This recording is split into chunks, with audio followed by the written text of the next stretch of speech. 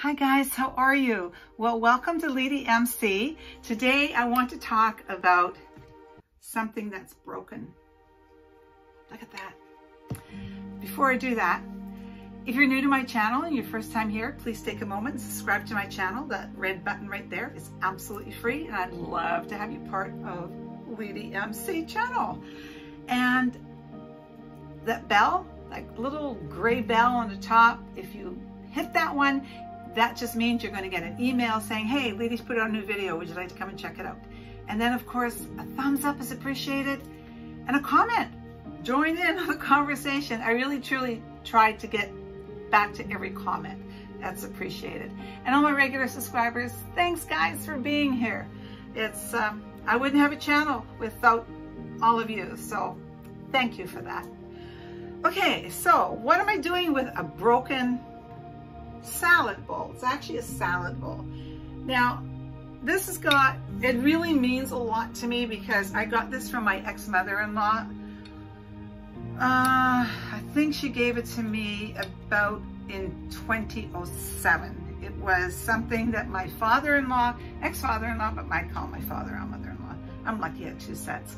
Um, had, and uh, she said, I'm just not sure what he's going to do with a salad bowl or a set. It's actually a set, which I will show you after.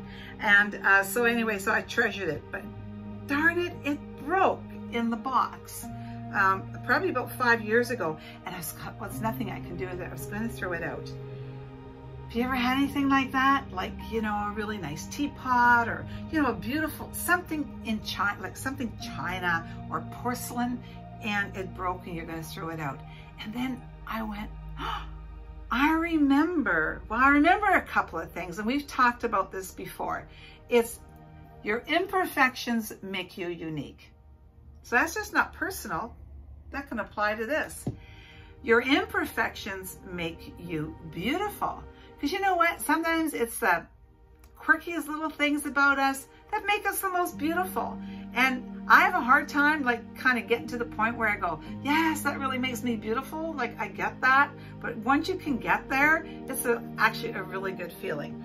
But then I remembered this. And I don't know if it's going to work for me, but I'm going to try to do it. So I'm going to, I want to read this to you guys. In Japan, broken objects are often repaired with gold. The flaw is seen as a unique piece of the object's history. I mean, that's kind of like us humans, right? I mean, yeah, which adds to its beauty. Consider this when you feel broken. I thought, okay, this is a great exercise. Remember the exercise we used to do? And I've done it many, many times in my life just to get through stuff. When you just had stuff and you needed to get rid of the stuff. I don't. I used to have this big yellow pad, and I would write down the stuff, the stuff that I didn't need, the garbage in my life, and I would write it down and I would crumple it up and throw it in the garbage, and to get rid of it. And those are really good exercises to do. But what about mending ourselves? What about fixing the stuff that hurts us or whatever? Can we put ourselves back together?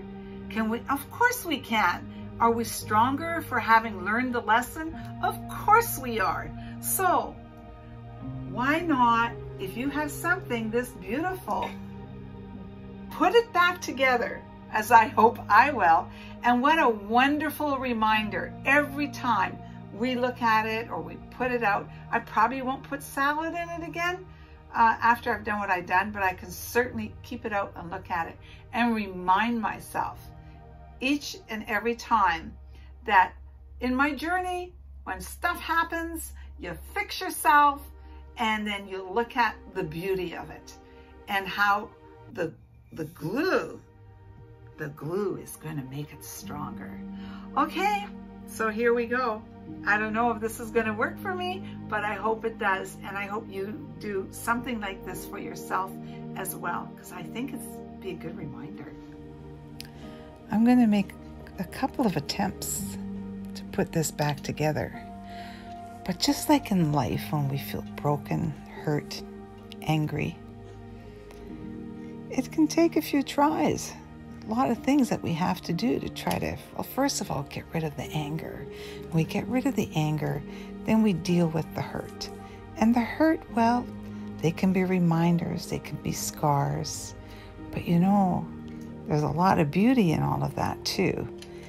And to do an exercise like this, first of all, because I absolutely love this bowl with all the memories attached to it and where I got it from and who I got it from, now I'm going to add part of my own journey in repairing it. And as I'm putting each piece back together, I may think of a moment in my life where there was tremendous hurt. And now I'm putting myself back together. And the glue is like the strength within me that said, Come on, girl, you can do this. Put yourself back together. And then the gold. This bowl is going to be more beautiful than it ever was. The parts I've put back together with the glue are stronger than it was before. The gold is the makes the imperfections shine, just like it will on any of us that fix ourselves and we repeat, repair ourselves. There's so much beauty in it.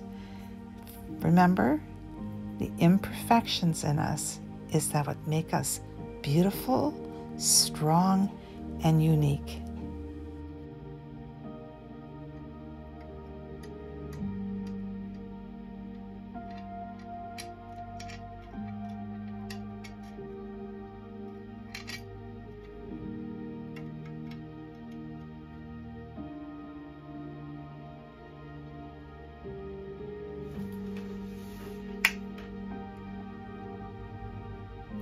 It's not perfect.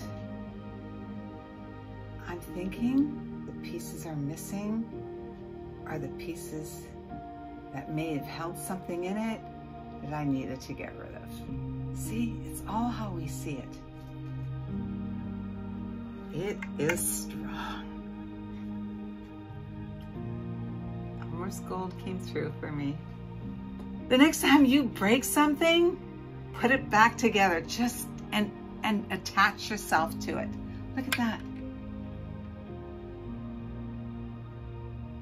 Now, once it dries, I'll give this a wash. Isn't this beautiful?